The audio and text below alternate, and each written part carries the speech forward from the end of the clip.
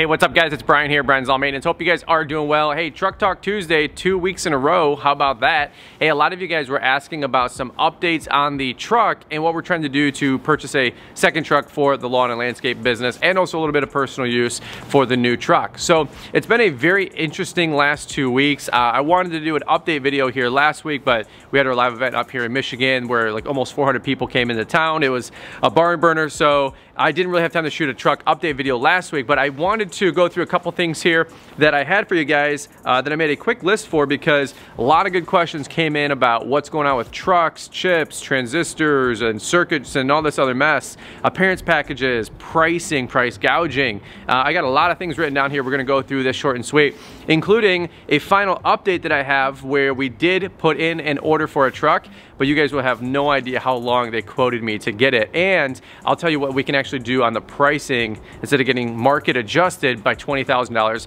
like the last video. If you guys didn't see the first video, this is kind of a part two, maybe a follow-up. I'll leave a little card or end screen and you can check that out. Basically, we're in the market for a truck and we are coming up with slim pickings just like a lot of you guys are out there in the marketplace. So let me go through this really quick. Uh, the very first thing that people are asking me is what are we shopping for? Uh, I was kind of elusive on the first video. Uh, everybody did end up sending me their guy, their sales guy, their friend, their brother, their broker. Everybody's got a guy that sells some vehicles and check this dealer, their volume dealer, check this dealer, their volume dealer. I super appreciate that. Uh, what I've come to find out is that everybody's a volume dealer and everybody's got allocation and that's just the the the skeeziness sometimes of car dealerships and car dealers and why I actually prefer Tesla and buying direct because they don't do what car dealers do. In fact, if I could buy a truck from Tesla and it was out or go through somebody that didn't have to go through a dealer, I would absolutely buy direct forever for the rest of my life. After buying a Tesla, not to sound pretentious as hell, but after buying a Tesla and literally going into the dealer, importing into my phone and driving off after sending one piece of paper, putting it in their Dropbox, are you freaking kidding me? I will never go to a dealer ever again if possible. Now, of course, I have to buy a truck from Ford, which is fine. I like Ford product, but I absolutely hate going through a dealer, probably like a lot of you guys. All right, let me keep this going. So what are we looking for? Long story short, this is an F-250 Lariat. This was a little bit of a plus one. Do we need this for lawn and landscaping? Not really. Just recap, we're talking about XLs, XLTs, uh, we're talking about gas trucks, these were already 50, 60,000 bucks just four years ago when I bought mine. Uh, we probably paid maybe $8,000 more than we needed to for a work truck out there. And by the way, something that's gonna run, be reliable, and didn't have 200,000 miles, okay? So that's why I went with this truck, and it was actually a pretty good deal, and it's worked out great for us. So what I wanted to do was get something a little bit cooler, something a little bit more for me. I know we don't shop for business for cool factor, but look, I wanted to buy a nice truck for me. So I'm gonna use it for business, grow a second route, a second rig with myself, have these guys out here with the Mo crew, and we can bring in some more revenue, 20, 50, $75,000 easily if I just had another truck to take out my, utility trailer for landscape, mulch, uh, the mulch force, aerations, all that kind of stuff, right? So here's the deal. I'm looking for a uh, F350 black appearance package uh, with the Godzilla V8 motor, okay? That is that 7.3. I don't want to do diesel. I did a whole nother talk for, uh, for lengths end, probably 20 minute long video talking about why I don't want a diesel truck. We don't haul heavy, but I do plan to haul heavier. So I did want to go with a gas option and that 7.3 is doing really, really well out there. I actually talked to my boy Jonathan with Florida Turf Pros down in Florida. He said it's so much more truck than you'd ever need, but it is an absolute monster. And I said, that's what I want. I want something that can eventually pull a camper or a fifth wheel as Liz and I start to have kids and have a family here, right? And we want to be able to haul a little bit heavier, maybe a, a Kubota tractor one day for our property, Polaris RZRs, all that kind of mess. Not that those are super heavy, but you guys know what I'm saying, okay? So black appearance package F350, bigger axles and all that fun stuff. It's not gonna be a Brian's Lawn Maintenance video without a jet or a train in the background. Uh, what I did need is the plow prep and specifically the camper prep package.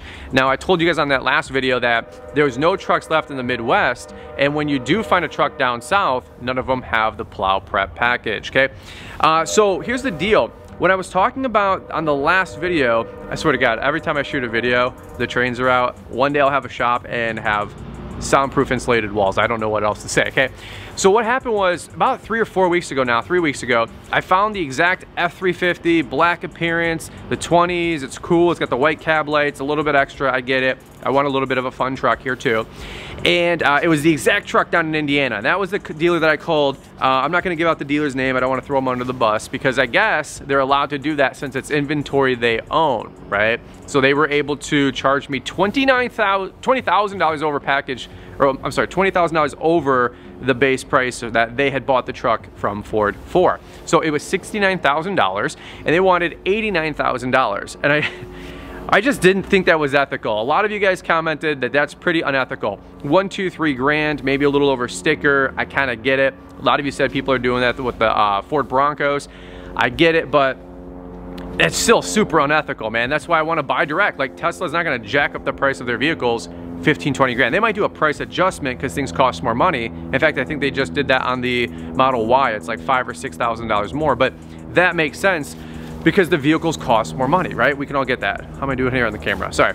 All right, so here's what we're uh, looking for. And by the way, I wanted like the heated rear seats, um, nothing really fancy on any of the other packages, just the heated rear seats, I think the cab lights, the uh, universal garage door opener, like it was only like seven little extras. It wasn't like everything with the uh, Lariat package and the uh, black appearance package, okay? So here's the last three weeks. So I find that dealer, uh, it was like on a Thursday. They said there was nobody looking at the truck. I call up that morning at 10 a.m. and they said that nobody was looking at the truck. I call, I said, let me think about it. call back three hours later. I had to run the bye-bye baby for my wife. Uh, for a baby. I call her a couple hours later and they jacked up the price by 20,000 bucks. By the way, a lot of you guys said they were allowed to do that, but what I thought was super unethical was that on the website it listed 69 grand. When I called up, they said it was 69 grand. When I was on Auto Trader, which is how I found the ad, it was 69 grand.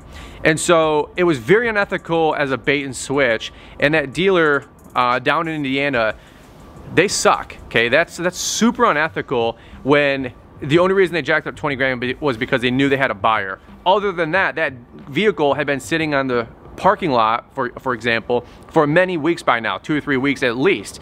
And somebody said, um, a great comment because the dealer goes, well, we used to be a volume dealer getting 400 vehicles a month. Now we're only getting 100 vehicles a month. So uh, we'll definitely get this price. And one of you guys made a great point. Well, maybe that's why the vehicle is still in the parking lot because you're not getting $90,000 for a Lariat truck. Somebody also said, uh, shame on me for bad timing, poor planning. I will give you some credit on that. Uh, I am. I was not expecting that vehicles were going to be three to six months out, which I'll get to with what my dealer told me, okay? I thought I could find something in six, eight weeks, something that's pretty reasonable as an end of year uh, tax deduction and purchase. So shame on me, I guess a little bit for sure for thinking I could get a truck within two months. Whoa, like when has that ever been a thing in America where you had to wait longer than one, two, three weeks? And I'm not saying microwave mentality, I'm just saying we've always had a lot of abundance. A lot of you guys left some really good comments that got upvoted that I absolutely agree with with a nice hashtag. Okay, here's where we're gonna go. These train horns are just awesome. Thumbs up for train horns. Unbelievable. So here's the deal.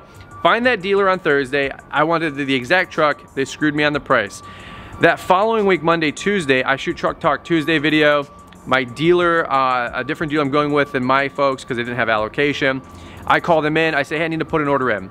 We end up putting an order in for the exact truck I wanted. He said it's gonna be, check this out. I want you guys to watch this. He said it's gonna be two to four months for that truck. I said, okay, well, maybe we'll get here by the end of the uh, December 30th in 2021. Probably, probably not, right? So no big deal. So that Tuesday, I do Truck Talk Tuesday. I order my truck a couple days later, and I said in that video, don't send me any trucks, don't send me your guy. Everybody's got a guy, I got a guy, you got a guy, we all got a guy. They all pull from the same place. So thankfully a lot of you guys didn't, but a couple of y'all did, and actually one guy, Brian, shout out to Brian, did send me a truck that was exactly what I was looking for, but in red. It was the exact truck that I have behind me in a 350 with the plow prep. It was down south, it was in North Carolina. So I'm like, really? And it was 72 gram, which the truck would have been 69, but he put the Nitto Ridge Grapplers on there and a tonneau cover, uh, a rolling one. So it was kind of worth 71 to 72 gram. Long story short, call this guy up. I put it, this is a crazy line of events, right? This is why I'm not hastily trying to buy a truck, but I thought this was the one, and I thought the next truck was the one, and some of you guys know that you gotta jump on these opportunities, right? So I call that guy Friday at like uh, in the morning. I put a deposit down on the truck. It's exactly what I want. It's a private sale. The guy's having a baby. He has to get out from underneath it. The truck had literally 800 miles. My exact F350 Lariat, heavier duty axles, the 7.3 Godzilla, exactly my truck with what I was looking for. Obviously not the blackout appearance package. So Friday, I call up my dealer, cancel my truck order. I found my truck. I told the guy, hey, the banks are closed over the weekend. I'm gonna finance this thing, get 199 on 72, keep my cash, put 20 down. That was the goal, right? I canceled my truck order on Friday. Saturday night at about 8 p.m. at night, I'm tooling around on Auto Trader, find the exact blackout parents truck again. The snowplow prep package with the camper package, the Godzilla motor, the white cab lights, the universal up switch, the garage door opener, all this other mess, right? Like it's the exact truck I want in New Hampshire and it doesn't say sold or pending or transferring and all that mess, right? So I called, or I shoot a little inquiry thing to them. Uh, please get back with me as soon as possible. It was like 69 and change or something like that. Well, Sunday night, like 10 o'clock at night, somebody must have been clearing out their emails because the little chat feature thing starts hitting me back on email. So I'm going back and forth with them. I'm serious, I'm interested, I'll buy it Monday. They let me know that there's a deposit down on that truck. And I was so frustrated because it's um, uh, about an hour north of uh, uh, Rhode Island in New Hampshire where I'm going to visit friends this upcoming Friday. And I was like, dude, we could fly in. My friends can get the truck, bring it to their house. We could drive it all the way back home. Like your mind starts playing these awesome games of justifying the purchase, right? So what happens is uh, I find out Monday that that truck is not available I actually canceled the order with the red truck with the guy down south because I wanted to actually get my cool black truck because, look, I'm just gonna be real with you. I went to the snowmobile show up here in Michigan, first time ever, on Friday night. Checked out the whole snowmobile show, it was awesome. Everybody there is pulling with trucks, it's my, my people, right? It's you guys, it's me, it's, we're just having a great time. Uh, Liz did not go, she's like, I don't wanna go look at stupid snowmobiles. I get it. But I got some land now and I'm like, hey, I got land and I want to go finance a snowmobile or buy a snowmobile, right? Um, I don't know. If, what's a good snowmobile? Somebody leave me a comment down below. So I go up there and as I'm literally walking out at 9.30, 10 o'clock at night, I walk right by, like two cars next down to mine, a blacked out F-350 with the appearance package, the LEDs and all this mess. And I'm like, dude, that's a freaking cool truck. Like that's the truck that I want. Now, I know business and XL and XLT, you know, WT, I get it. It's a little bit more of a truck for me as well as for the business, okay? So it's something cool. I've worked hard. I want to get something nice. I'm just to lay that out there. Why not? So I was really bummed by getting the red one potentially, so I canceled the guy on Monday. I actually PayPal the dude $500 deposit that Friday. He was actually really cool. He said, no big deal. My uh, dealer that I bought it from is offering to buy it back from me for what I paid for it. He's kind of in a good position. He PayPals me my $500 deposit back and says, no big deal. Uh, about two hours later, my dealer that I kind of did a, a, douche move calls me back uh, about 11 a.m. on Monday and says, hey, your sales rep guy to be, he has actually been out for a week or so. Uh, he never got your voicemails on Friday and Saturday. Your truck order is still in the queue. Uh, no big deal, we still got the order in. I'm like, what up, no? Awesome. So I, I didn't get the truck in Indiana. I didn't get the truck in New Hampshire. I didn't get the truck in uh, North Carolina. Then the guy, here's what he tells me. He goes, hey, just so you know, this is really funny. He goes, just so you know, that black appearance package, it's gonna be an extra two months delayed. And I'm like, come on, bro, like what, now what? It's two to four months before, how long is it gonna be? He goes, well, it could be four to six months because the spray and bed liner is part of the blackout edition or black appearance package and they don't have the chemicals to put that in the bed liners for Ford. The, the Q or their software and their projections say it's gonna be four to six months. And I went, okay, so just don't ship me the truck with the, the bed liner, right? I'll go get it at Line X, which I have in my current truck and I love it. And uh, he goes, well, that's not exactly how it works. It's an all or nothing deal. I said, awesome. So send me the truck and just keep the $500 for the stupid package. He laughed, I laughed. He goes, it's not how it works. I said, okay, well, credit me 500 bucks. And I'm just trying to do what you guys do probably too. Hustle, I'm like, yo, just give me the truck. Don't worry about the, the bed liner. We'll figure it out. And he goes, not how it works. So anyway, long story short, four to six months now in the queue for the truck. Now, I'm praying it comes in earlier. A lot of you guys said that you put in trucks and they said four, six, eight months and they came six weeks, eight weeks, 12 weeks, two, three months. We'll find out if that's the truth, right?